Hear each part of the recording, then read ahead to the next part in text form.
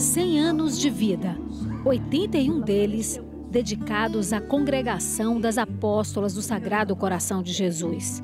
Minha mãe dizia que com cinco anos eu dizia que queria ser religiosa. Eu não dizia ser religiosa, eu dizia eu quero ser como aquelas irmãs. Elas tomavam conta do leprosário aqui pertinho. Nada de cama, prostração, apoio para as pernas ou dor. O problema da dor é o seguinte: é a gente pensar na dor.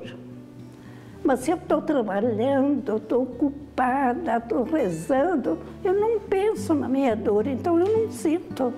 Irmã Anacleta é definida por lucidez, dom da fé e bom humor. Eu tenho muita saúde. Eu rezo continuamente. Cura-me, salva-me, liberta-me, Senhor. E ensino isso para todo mundo. A irmã Anacleta é uma pessoa de Deus, uma alma silenciosa, orante, generosa e muito trabalhadora. Ela não parece ter 100 anos de idade, é sempre a primeira em servir. Sempre que eu visito as irmãs, ela faz isso comigo, por isso sou testemunha disso. Uma história de dedicação e amor ao próximo. Antes de chegar a Curitiba em 2007, a irmã trabalhou e morou anos em São Paulo e 18 anos em missão no Pará. Eu sei que sou muito feliz. E que se eu tivesse que nascer de novo, eu escolheria a mesma vida. E passaria pelos mesmos problemas, porque eu sofri muito na vida. Mas nunca me abati. Nunca precisei de psicóloga para me levantar o ânimo. Cristo é que me levanta o ânimo. A comemoração do centenário da irmã Anacleta, caçula de dez irmãos, encheu a capela da Casa de Repouso São José. Família de laços sanguíneos e religiosos, mais de 190 pessoas unidas agradecendo pela saúde da religiosa. Ela é uma presença muito, muito forte na comunidade, muito alegre, muito positiva, muito, muito viva de levantar os outros, não deixar ninguém parada, de querer que todo mundo se mexa, que trabalhe, que tá, ela está sempre ali.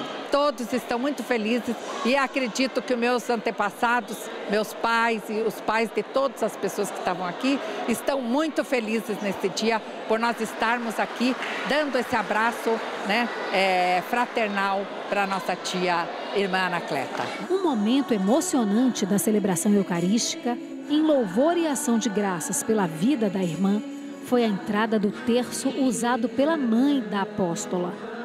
Sobre o melhor exemplo e aprendizado ao longo dos 100 anos, ouçam o que ela disse. Eu vivi sempre no meio de criança. Então, com criança, a gente aprende muita coisa. Aprende a ser simples, humilde, não faz questão de desprezo. Por onde passou, levou a ternura do Sagrado Coração de Jesus a todos. Um legado de puro amor. Amor é Cristo, porque Cristo é amor. Então a gente faz tudo por Ele. E quando a gente faz por Deus, nem que custe, a gente faz. Eu quero desejar a todos muita paz e muita alegria.